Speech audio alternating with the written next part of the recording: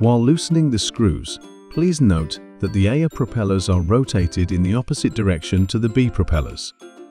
Rotate the screwdriver in the direction shown on the propeller to loosen the screw. Take out the damaged propeller.